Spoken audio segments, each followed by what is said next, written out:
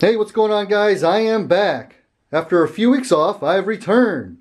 So in this video, we're going to talk about these two specific Smith & Wesson Performance Center revolvers. Bloodwork and Pug Nose. Some people will be like, what, what are you talking about? So basically, uh, these are two model revolvers that uh, is popular request of people that are asking me to put them side by side and just talk out loud because they're interested in hearing, I guess, my thoughts on each of these models uh, because they're interested in getting one for a primary defensive firearm, like a CCW. So I think that's pretty refreshing in a world of plastic. You know, some people are still like interested in possibly carrying a revolver. So that's pretty cool. You guys know I no longer carry a revolver, but I did carry a revolver pretty religiously. And I spent a lot of time and effort with training and practicing with one. Uh, it was pretty challenging, but it was just something I wanted to do, and it was a lot of fun. Um, but you know, it, it, takes a certain mindset. If you want to carry a revolver, uh, you got to think some things through. But we're not going to get into that in this video. I've done many videos about revolvers, uh, you know, a couple years ago. So I don't know, maybe you can go look at those. Or, um, you know, there's other videos on revolvers as well. But I carry a 1911 nowadays. I went back to my roots. And, you know, some people may be like, oh, why you carry 1911? You know, a lot of people hate the 1911, but whatever. So, let's talk about this. What we got here is the Model 627, okay, snub nose, also known as the Bloodwork revolver, and the most infamous Model 327, and this is also known as the Pug nose. All right, so these terms, pug nose and blood work, um, these are not company terms by Smith & Wesson. Uh, these are just terms, I, I, actually coined the pug nose in my unboxing video. Uh, and this one here is known as the Bloodwork revolver because of the movie Bloodwork. Clint Eastwood had one of these in the movie. So these are just terms coined by you know people in the gun circles, that's all. So these are very different types of revolvers. I think they're they are both viable defensive firearms. You know, if you want to carry a revolver, these are two great choices. But they are very different and they have their nuances. Especially this one here, the infamous pug nose. So first off, let's talk about the 627 Bloodwork snub nose here. Uh, I, I just want to quickly address the fluted cylinder because in my from the safe video, I, I forgot to talk about this fluted cylinder. People were like, wait a minute, when you get a 627, you know, snub nose, doesn't it come with an unfluted cylinder? Yes, that is true. So when you get a 627, all right, snub nose, the Performance Center, it does come stock with the unfluted cylinder, which is right here. Now, the previous owner, my good buddy who owned this, we did an even trade. Uh, when he when he owned this, he wanted to get a fluted cylinder installed because he liked the way it looked. Uh, me personally, I like fluted cylinders, so I like the way they look as well.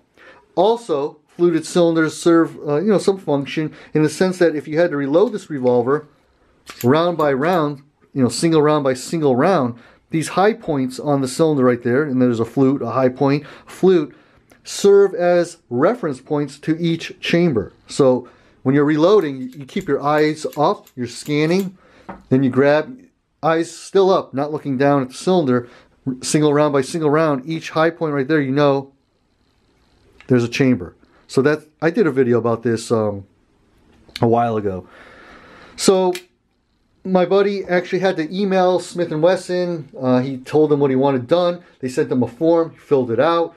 Uh, basically, they sent him a shipping label. So he shipped this back to Smith and Wesson, which is funny because we could just drive it back. They're right over there, but they don't. I guess they don't allow any drop-offs anymore.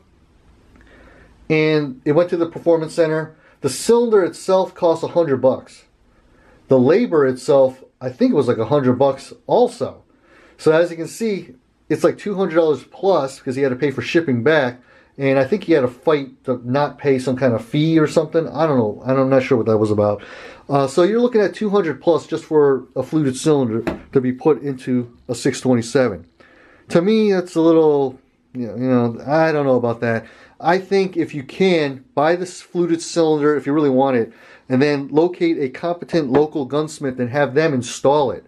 I don't think there's any fitting or timing check or to, that's involved, but any competent gunsmith Probably could do it for a lot less. Uh, my good buddy Gun Glutton had one of these a little while ago, and he did that's what he did. He bought a fluted cylinder, and he went to his local gunsmith, and he took this one out. Okay, took out the you know unfluted and installed the fluted for nothing. So he ended up paying only about hundred dollars.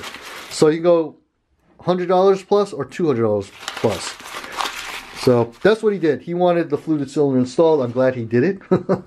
but um, he liked the look of it, you know, because of blood work and because of True Detective. So that was that. The other thing was he was going to put a D&L Sports rear fixed sight on this revolver, but I, I don't know what happened. Didn't end up being sent to him. I'm not sure. If I were to carry this revolver as a primary carry, that would be something I would do. Get this one off and get a D&L Sports rear fixed sight. I don't know if you have to adjust the point of aim, you know, filing off this front sight to get it where you want the round to go, depending on certain loadings. Then that that'll be another that's for another day. So just wanted to kind of address those two things. All right, so let's talk about this. Two very different revolvers. The 627 is a full stainless steel with a longer barrel. Um, it does have an 8-shot cylinder that can take moon clips. It's cut for moon clips, and the ejector rod is full length. See that? The pug nose, or the Model 327, much more lightweight because it has a scandium alloy frame, titanium barrel shroud, and cylinder. Very, very lightweight. Also cut for moon clips, but it has a like a J-frame or short ejector rod. And I will say there were at times shooting 357 Magnums kicking them out. Sometimes those cases wouldn't all come out and you have to pick them out. Sometimes. With this one right here, that's, that's not a problem because the ejector rod is going to push them all the way out. And, you know, I usually go like this, banging out a couple times. But, um, yeah, not a problem. They both have this little lockup right there. Okay if, you, if you're at all curious. It's from the Performance Center. But more importantly, um, this one has a longer barrel than the Pug Nose. The Pug Nose has a 2-inch barrel, 2.5-ish inch barrel. Again, full stainless steel, and this one has the lightweight properties. Now, the biggest difference would be shooting 125 grain magnums out of this one right here. Basically, um, not a problem. You can shoot anything you want through this one. This one right here, I would be wary. Uh, that's why I stuck to the short barrel formula, even though it's not full house magnum. I just stuck to the uh, short barrel formula because you guys can see, look at all the wear of this gun. All right, I carry this religiously for a long time. I shot a lot of rounds through this, probably more so than what an average person would shoot out of this. And I experienced flame cutting, or uh, not flame cutting, cylinder erosion. You saw the video on that and just by shooting so many rounds through it, the timing went off. So I did send this back to Smith & Wesson two times, and they basically, you know, fixed the gun, no questions asked, really quickly. But that's the only thing with the pug nose. Although it's really convenient to carry, you know, lightweight, very compact, outside the waistband, not a problem. Um, there's a trade-off. You got to kind of look at what loadings you want to put in this, uh, because you could run into flame cutting and cylinder erosion, and possibly throwing the timing off. But then again, again, I shot this a lot. I mean, just look at all this wear on this revolver right here. I still have it. Had it for a long time or a while. Well, that's funny. There's some wear right, right here. I wonder, I wonder if that's from me going like this all. Even with the revolver, or any other gun, I, I always sweep off a thumb safety because that's because of the 1911 in me. Um, but it looks like it's funny. The finish is all coming off up here. Never even noticed that. But anyways, this one right here, put any 125 grain Magnum load you want. Uh, you know, full house, shoot the thing. Um, it's not a problem. It can handle it. Felt recoil is definitely less with this one than this one. This one is somewhat painful if you're doing the 357 Magnums, even the short barrel, gold dots. You can feel the pain. This one here, you can feel it, but it's not, it is a huge difference, basically. But again, full stainless steel, a lot heavier, extremely lightweight, with those lightweight metals and properties. Um, so I just want to throw that out there. This one has an actual rear sight, okay, and it's adjustable. This one has a trench sight, so it's kind of like up close and personal, like a J-frame. So you, if that bothers you, you know, that's just throwing that out there. But, you know, they both have the lock, okay, and I know a political view on that, as well as mechanical. Never ever had any issues with the locks, and I've you know owned quite a few Smith & Wesson new newer Smith & Wesson revolvers. Never had any problems with the lock. These two different revolvers, if I had to redo it, I think I would try to carry this outside the waistband. Okay, I think this is a really, really good defensive revolver. Inside the waistband, these cylinders are kind of fat. I tried inside the waistband, this one right here, and it, it kind of was like annoying. Uh, so I did outside the waistband. Outside the waistband for this one, not a problem. Concealed very well. Again, very lightweight. I liked it. This one's going to be a little bit more, you know, hefty, like a 1911 government size carbon, full carbon steel. Not really a big deal to me, but maybe some other people may not like that weight. But I had carried a 686 snub nose, two and a half inch, for a while, a couple years ago, and I just dealt with it. I actually carried that inside the waistband, I remember. Um, and sometimes I'd be like, ugh, I don't want to do this anymore, but I stuck with it. You guys know, carrying a gun is a lifestyle change. But for this one here, I would try to carry this outside the waistband, load it up with some 125 grain, maybe critical defense magnums in here, and call it a day. So what I'm trying to say is they're both viable tools, um, but if I had to do it over again, I might start. I would. I might carry this one, you know, over the pug nose, you know, or maybe carry the pug nose on your ankle. Carry this in your pocket. Why not? and have this on your hip.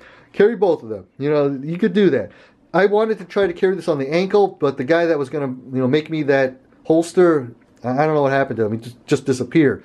He was, it was going to be a leather ankle holster, very high quality, but he disappeared on me. Um, the guy that was going to do the pocket holster for me, um, yeah, I don't know. Again, disappeared, or maybe he's just too busy. But I think you could ankle carry this because Clint Smith did. uh, he carried this on his ankle, or pocket carry. You could probably do it. Not so with this one. This is more of a hip gun, uh, but uh, yeah, I would try to carry something like this. Trigger presses on both of these, I don't really shoot them in single action, okay? But, nice. Nicer. yeah.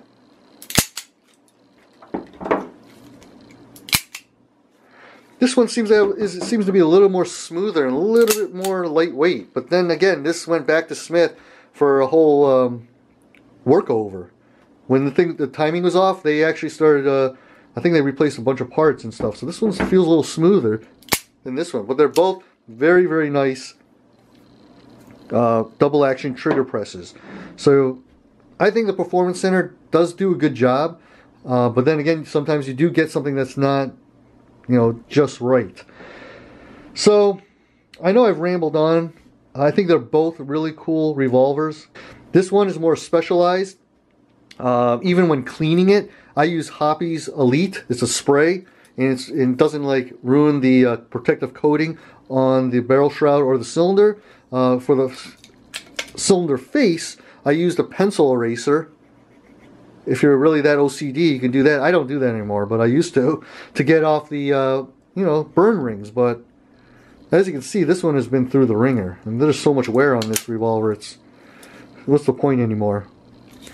Uh, but this one here is, you know, stainless steel look. It's a different look. Um, you can just use whatever you want through this and clean it. Alright guys, this video is getting way too long, but I did want to kind of just show you both of these revolvers, talk out loud here. Look at that. talk out loud here and give you give you a look at these awesome revolvers. So this one actually has, uh, you see how it's screwed in like that? So it's different. This thing never loosened up on me, thank God. But again, I put so many rounds through this. But there you go. Two awesome, very different, unique, I like I'll say, eight shot N-frame snub nose Smith & Wesson revolvers from the Performance Center. So guys, leave some comments below. Let me know what you think. And as always, stay safe and check 360 often. Later.